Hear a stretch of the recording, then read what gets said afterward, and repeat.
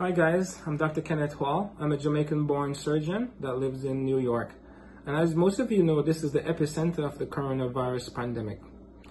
For this video, I just wanted to focus primarily on my West Indian people, my Caribbean people, as it relates to you know how they're faring, and I would like to make some recommendations uh, relating to dieting, prevention, and also talk about some updates. What is the latest information? Mask versus no mask, social distancing. Does it make sense? And some of the other tips that I've learned over the past several months talking to friends and colleagues all over the world. So let's get right into it. So coronavirus, particularly COVID-19, this is the main cause of this uh, pandemic that we have now. And one of the main modes of transmission is through the air. Cough, droplets, airborne, aerosolized conditions, all three. We've seen all of these means. And that's why they're purported social distancing because they believe the further you are from an infected person, the less the risk. And it does make sense to some extent. Six feet may not be enough. We've seen cases where up to 27 feet, uh, if somebody coughs or sneezes, uh, uh, droplets and liquid can go that far actually.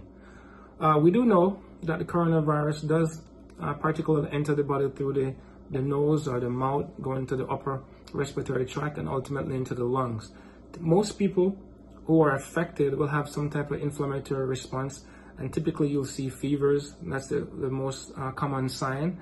And later on depends on your immune system and depending on what's going on with you whether you have medical problems or you're elderly you may have secondary findings such as shortness of breath and that is primarily related to the amount of fluid that's produced in the lung. Now you do have what you call white blood cells and the main purpose of white blood cells are to fight infections, fight viruses, and fight bacteria. Oftentimes, there's an overwhelming response, and that's typically what we see in these uh, coronavirus COVID-19 patients. There's an overwhelming response. The body produces a lot of chemicals, uh, which causes severe inflammation in the lung and the difficulty breathing. So in short, you're basically drowning in your own secretions. And it's not necessarily the virus, it's just a response from your body to the virus. So what can you do? Now there are different medications, there's different therapies. I don't think anyone have the right answer for it. They're working on vaccines, but so far nothing is 100% effective.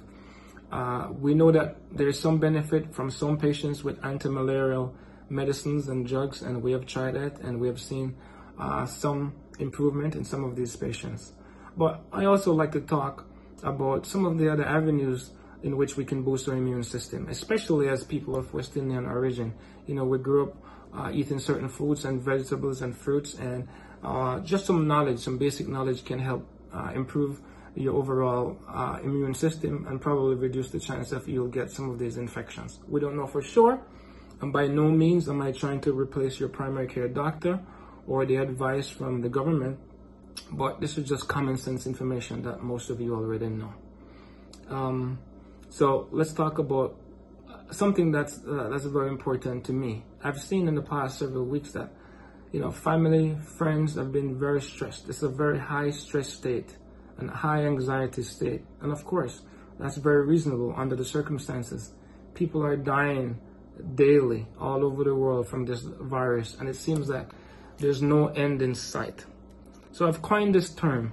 I call it CIA, Corona Induced Anxiety. And believe me, sometimes I think I have it. Oftentimes I cough, I sneeze, I believe, oh my gosh, I have the coronavirus and I'm freaking out and my heart rate increases. I'm constantly stressed. You know, people are going through this all over the world. They believe they have the virus, number one, or secondly, they're confined to their, their homes. There's not enough activities. There's no hand in sight people have this overwhelm, overwhelming sense of doom. Like what is going on? Like we're losing control. And most of you are touched in one way or another, whether directly or indirectly. It's hard to find a person that's not affected by it. I remember a couple weeks ago, I knew no one. Now I have family members, I have friends, I have people intubated on ventilators fighting for their life right now. I have doctors, lawyers. This disease basically no no boundaries rich, poor, white, black, Indian, Chinese, whatever it is, this can affect you. So protection and prevention is key. You know, stay home. If you don't have to go out, stay home. That's the most important prevention. And this thing about mask, me personally, I wear mask everywhere I go. Sometimes two. You know, I, we're on the front line. We have to take care of patients with, with COVID-19. We just have to be suited up, gowned up, be smart, cover your ears, your eyes, wherever you go. I see people walking around in supermarkets all over the place, not enough protective gear. Believe me, it does not make sense. Whether or not these things work, why not be safe? Common sense measures will save your life. So my recommendation is wear a mask all the time, wear it properly because you never know when you may come in contact with somebody. And this disease is particularly virulent because the latency period is different. In some diseases, you'll get sick right away. With the coronavirus, there are many patients who are active carriers, and we have five, six days with no symptoms. And some patients are symptomless, but they can be asymptomatic carriers, meaning they can pass it to somebody else without even knowing. So you can actually go home, infect your entire family, and not even know it. So that is the problem with this. And for some people, it's rapidly proliferative. So in 24 hours, you can be very sick, very, very sick. So you have to be very careful. So prevention is key in this regard. Um, I think, again, your diet is a place has a lot to do with your immune system. So I'm going to go over a couple of things before. You know, recently I saw an article, I believe, in the um, New York Post about this Jamaican guy. Uh, I think his name was uh, Rayburn. Uh, Fairweather, and I really commend him because I know he's on the front lines. He's a respiratory therapist at one of the hospitals in New York, and you know he got the coronavirus in a very short period of time. There's certain cocktails and regimens that he used, and it really helped boost his immune system. So I'll spend a minute or so going through some of the stuff that I do personally on a daily basis to kind of help protect me uh, with, with with this uh, situation and this crisis. So the first thing, I do a chewable multivitamin. I think is very important. Uh, in my case, I do organic just because I think is better. Chewable, I think absorb is better. Gel caps are also good, and also liquid multivitamins, but that's limited by the taste, and a lot of people can't really deal with that taste. Airborne, I think this is really good. Also, Emergen-C, you can get that at your local pharmacy, CVS, or wherever you are. I think that's good. Anything to boost your immune system. Uh, TF Life, I drink every day. I've been drinking this for many years. Uh, pleasure brand, similar ingredients. I've been drinking that also. I try to exercise, I try to run, whatever you can do to boost your immune system. So do exercises at home as much as you can. Read. Now is a good time to pick up reading. Get your family closer together. Bond more. Pray together. This is a difficult time, but we can together. We can united uh, beat this uh, this this dreaded virus. Um, I also like to address uh, certain other things that I believe is effective. I drink kale juice with uh, ginger, uh, green apples, and kale. Well, I'm sorry, kale, green apples, ginger. I think is very good. You can also have had a touch of turmeric.